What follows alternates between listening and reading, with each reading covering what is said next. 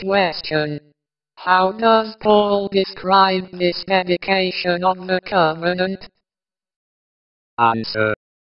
For when Moses had spoken every precept to all the people according to the law, he took the blood of calves, and of goats, with water, and scarlet wool, and hyssop, and sprinkled both the book, and all the people, saying, This is the blood of the testament, which God hath enjoined unto you.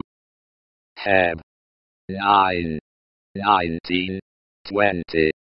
Note, we here have the complete account of the making of the first, or old, covenant.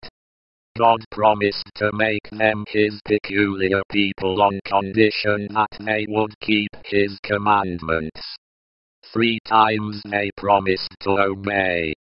The agreement was then ratified, or scaled, with blood.